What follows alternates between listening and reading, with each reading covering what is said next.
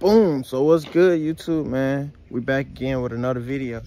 Today we're gonna be talking about this Can-Am 2022 Outlander XT model. As you can see, it actually has the radiator relocator kit built in. Um, this didn't come stock. It was added on.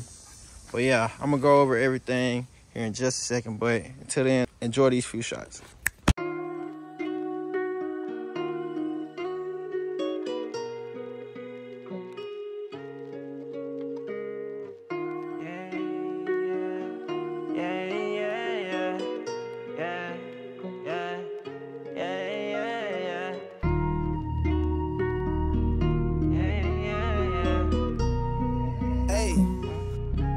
Basados made this.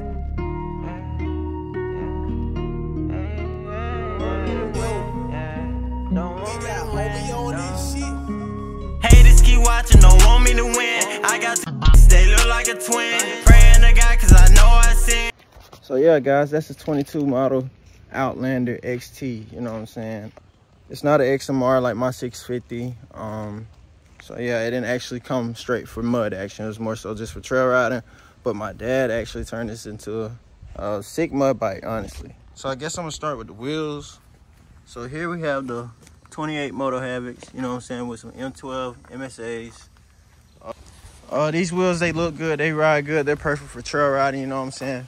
Maybe not so much as a bounty bike, but we didn't build a bounty bike, we built a trail bike, you know what I'm saying? So this is most definitely get the job done on the trails and it's most definitely fun to ride, but now it's time to hop into the second upgrade, which would be, I guess, the headlights.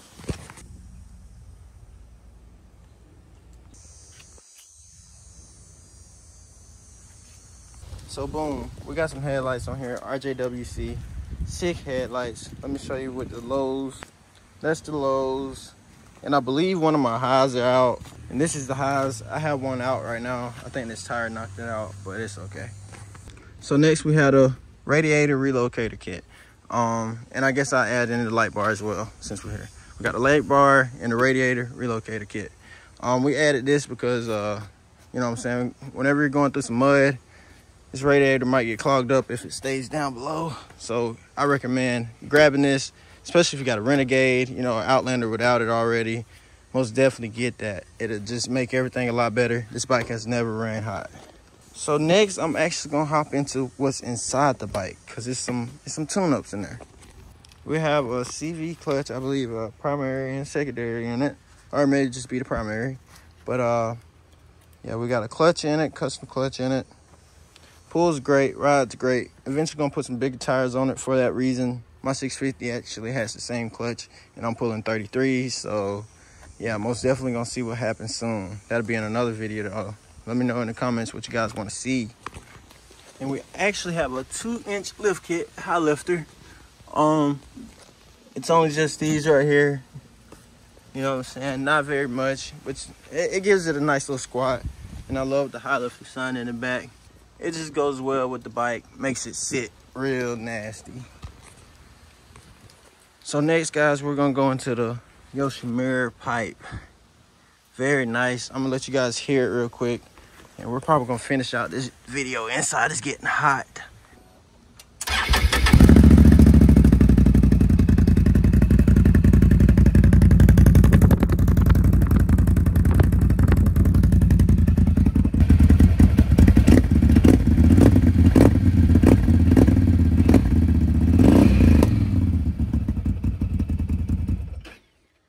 So yeah guys that's basically everything on the bike. And um i think i for forgot to mention but it's also got a dynojet tune. It's just plug-in uh the plug-in isn't on the bike itself because you can actually just download it into the bike's computer system. You know what i'm saying? So uh we did that and we keep the dynojet uh it's in the house or we bring it to the rides with us you know what i'm saying? But yeah other than that guys i think that's about it on that bike you know what i'm saying I'm saying? Just make sure you guys like comment and subscribe. I'll be out with so much more content you know what i'm saying? I got a lot of time on my hands now. So uh most definitely gonna be getting more creative with my content.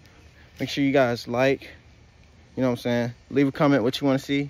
Make sure you subscribe to Kuntry Kenny you know what i'm saying? And i'll see y'all on the trails. Peace